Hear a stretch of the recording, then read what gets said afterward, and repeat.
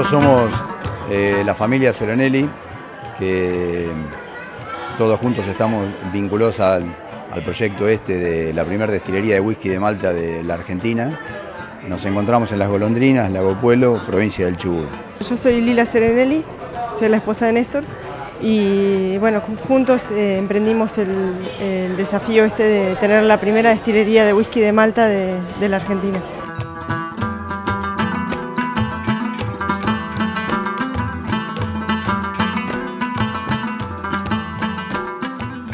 Bueno, la lazana porque en la chacra tenemos caballos, siempre nos gustaron los caballos.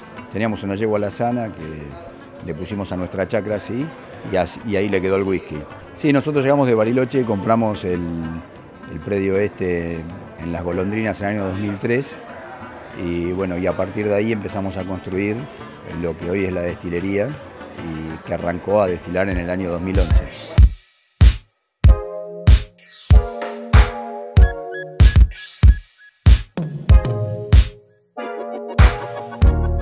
Sí, somos apasionados por lo que hacemos. Nos gusta, siempre nos gustó el, tema del whisky de Malta.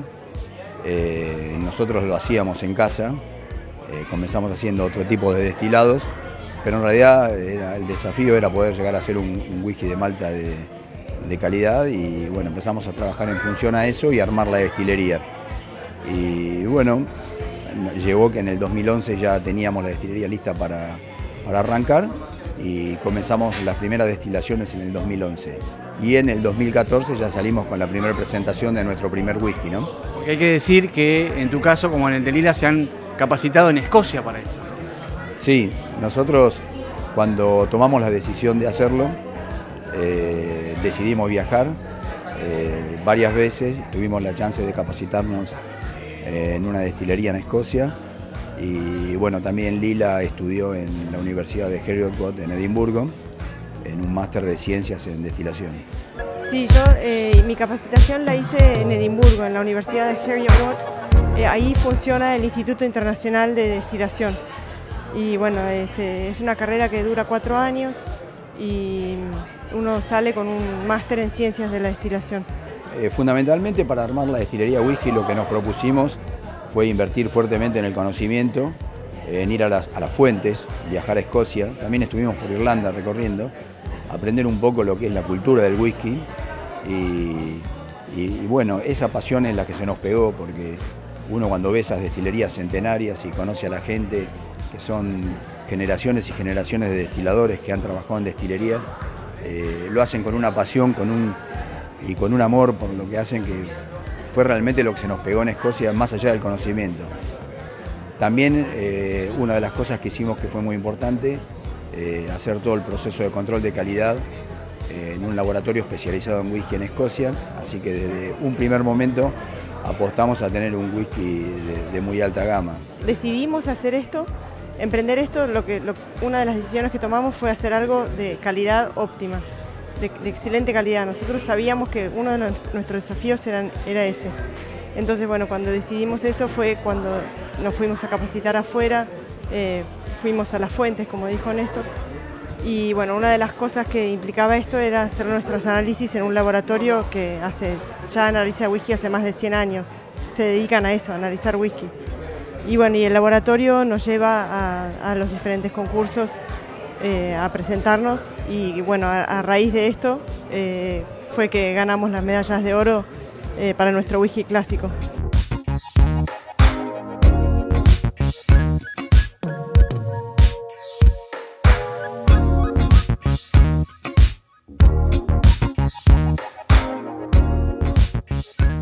lo que ustedes lograron fue montar una destilería a pequeña escala aquí en, en nuestra zona con un proceso similar al que se hace eh, de modo industrial, pero con un toque patagónico. Sí, eh, la destilería de whisky de Malta tiene una característica, no importa los volúmenes que uno maneje en la producción.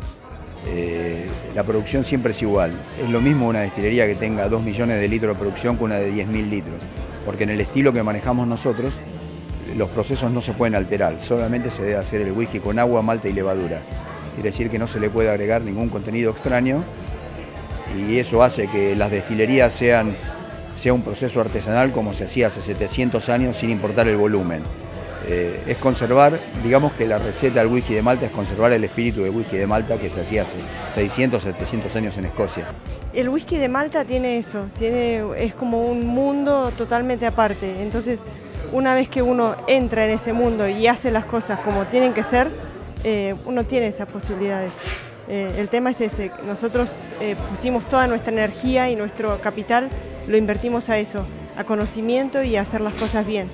¿Ustedes prefieren mantenerse por ahora en esta etapa, yo diría artesanal, digamos, micro, no tienen una gran cantidad de producción, eh, no salen a vender al mercado con todo, es, como que hay que ir a visitarlos a las golondrinas. Contanos cómo están encarando su empresa ahora. Sí, en realidad artesanal siempre va a ser, porque bueno, lo que les contaba Néstor, el tema de lo artesanal, eh, ya hacer whisky de, Malta ya implica que es algo artesanal. El tamaño, sí, nosotros en este momento estamos trabajando eh, con una capacidad eh, y una destilación pequeña, pequeña comparada con muchas de las destilerías de, whisky. ¿Cuál es la capacidad que tienen hoy, por ejemplo? Eh, y nosotros eh, estamos destilando con un, nuestro destilador de Spirit, que es el segundo destilador, nosotros hacemos un proceso de doble destilación, tiene una capacidad de 500 litros. Esa es la capacidad de, las destilerías más pequeñas de Escocia. ¿Eso es en un año? eso, eso es nuestro equipo, digamos, de trabajo el, formato de los destiladores que tenemos.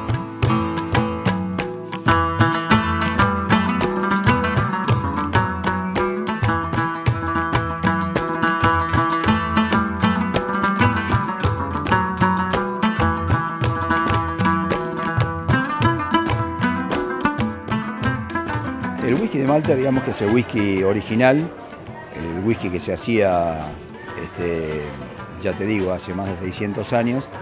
Eh, la receta es una receta sencilla, como podrás ver tiene tres ingredientes, agua, malta y la levadura. Ahora, para tener un buen whisky de malta, no es cualquier agua la que se puede tener, eh, no es cualquier cebada la que se puede maltear y no es cualquier clima de añejamiento el que, el, que se puede tener.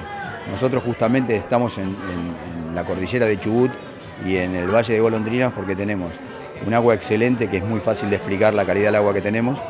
Tenemos un clima de anejamiento muy estable que hace que tengamos las pérdidas normales por, evaporación, que estén dentro de los estándares para tener un whisky de malta equilibrado. Y por último, para la nueva etapa que tenemos la destilería, ya estamos sembrando nuestra cebada para whisky en, la zona y que poco a poco vamos a ir reemplazando la malta que estamos importando de Gran Bretaña para, para hacer nuestro whisky. De manera que tenemos las, tres cosas más importantes que puede tener un buen whisky, que es el agua, el clima y un buen suelo para, el cultivo. Quiero decirte que en, la Patagonia, en la región donde estamos nosotros, tenemos todo para eso. Aparte, el plus de tener una cebada propia que tiene el sabor del terruño, me imagino, que no debe ser lo mismo que una cebada de otro lado. Bueno, vos lo dijiste bien, porque muchas veces se tiene un poco desvinculado al, al whisky con el proceso que se hace eh, en el campo con el cultivo de la cebada. Si vos me decís cuál es el labor más importante que hay en un buen whisky, es justamente, eh, justamente un, buen cultivo de, cebada y un buen trabajo en el campo. Ese es el, labor más importante para el whisky. La capacidad que tenemos es de 70 barricas por año. Eh, no, es, no es mucho. en realidad ahora estamos trabajando un poco más abajo de la capacidad porque estamos haciendo todo nosotros, así que eh, muchas veces no estamos presentes cuando venimos, por ejemplo, a eventos como este, entonces este, tenemos divididas las tareas. ¿Cómo definen el tema del añejamiento? Eh, bueno, el tema del añejamiento es, es complejo porque en realidad el whisky tiene dos etapas el proceso. Una etapa es la etapa que se hace en la propia destilería, que sería toda la parte de, es toda una parte de macerado, de eh, fermentación y doble destilación. Y después la segunda etapa, que es la etapa de maduración, que en realidad es, la segunda mitad del whisky. O sea, el, primer, lo primero que sale después de la segunda destilación no es whisky, sino se añeja. Eh, como mínimo debe añejarse tres años. Eh, nosotros nos regimos por la ley escocesa que dice que son tres años como mínimo en barrica. Eh, pero bueno, a partir de ahí, si uno se dedica con una, buena calidad de barricas y un buen plan de añejamiento, eh, uno puede apuntar a tener más tiempo de maduración. Nosotros eh, no queremos tener un estándar que sea, queremos tener un estándar que no sea menos de 8 a 10 años, que ese sea nuestro estándar. Creo que ustedes apuntan a un público exigente para, para saber valorar eh, el contenido de lo que están consumiendo. Sí, en realidad eh, la gente que toma whisky de Malta son gente que sabe.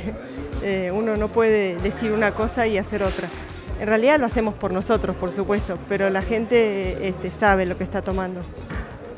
Sí, el estilo que hacemos nosotros normalmente, el 80% de las barricas que se utilizan para madurar nuestro whisky son barricas que tuvieron whisky americano, eh, ex whisky bourbon. También tenemos algunas barricas que han tenido jerez y tenemos algunas barricas que han tenido vino. También contamos con algunas barricas que han tenido cognac, así que bueno, hay una serie de barricas. También alguna barrica nueva que es la que añejamos nuestra malta hecha con cebada orgánica, que decidimos eh, madurarlo en madera nueva. ¿Y está igual este, creciendo el consumo? Hablábamos de que se está sumando mucha gente joven, eh, es una bebida que a pesar de tantos años que se produce, siempre está como vigente. Sí, hay una tendencia muy grande, en realidad hay una tendencia a nivel mundial eh, y más en la gente joven. es una tendencia a tomar menos, pero de mejor calidad. eso y eso para nosotros, para el whisky de Malta, es, es muy favorable.